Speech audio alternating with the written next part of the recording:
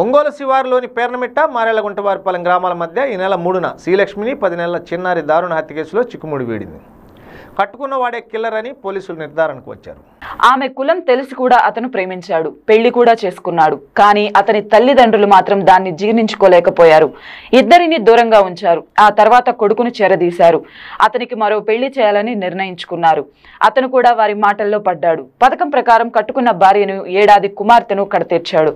వారం క్రితం పేర్నమిట్ట మార్లెగుంట వారిపాలెం మధ్య జరిగిన తల్లి కూతుళ్ళ హత్య దహనం కేసులో కొత్త కోణం ఇది. పోలీసుల విచారణలో తల్లిదండ్రులే తనను ప్రోత్సహించినట్లు నిందితుడు చెప్పినట్లు తెలిసింది.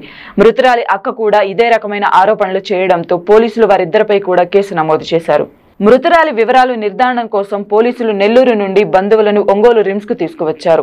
మృతి చెందినది తన చెల్లెలు శ్రీలక్ష్మి అని అక్క విజయలక్ష్మి వెల్లడించింది. తన చెల్లెలు అత్త మామ ప్రోత్సాహంతోనే తల్లి బిడ్డను హత్య చేసి తగలబెట్టాడన్నారు.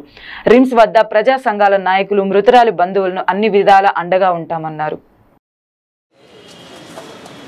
ఏయ్ నైదురా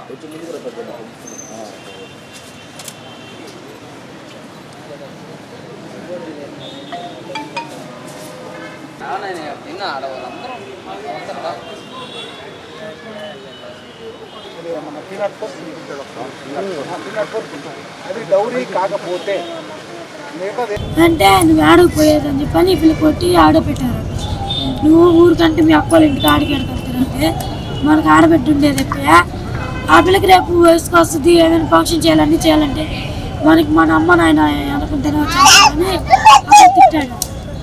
తిడితే ఇంకా ఆ పిల్ల బొమ్మకి అయిపోయిందంట. సరే అని ఆ- పిల్లలు పిల్ల నాకు ఆ మాట చెప్పింది. ఇటు తిట్టాడు ఆ నేనేం చేశాను? వచ్చాక వచ్చి కదా. పాప కూడా నాలుగు రోజులు అవుతుంది కాలు కలుపుతాడు లేకపోతే మనం చేయాలేసి చేస్తే పెద్దలు కలిపి నలుగురు అడగట్టు కూడా అవుతాడంటే నేను ఉంటుంది మా అత్త మా మామ మార్పించుకొని నేను మా కాకుండా చెప్తున్నాను చేస్తాను నేను పిల్ల? అంతే ఇంకా ఆ రోజు మాట్లాడమే. ఇంక ఫోన్లో వేయలే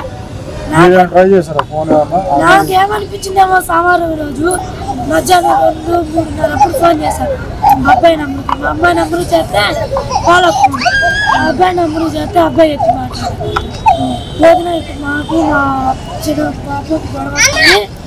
మీ చెల్లెల వల్ల చెప్పిన పని చేయట్లేదు అంటే అన్నాడు అప్పుడు. అంటే నేను ఉండి చెప్తాను నాయన చేస్తాను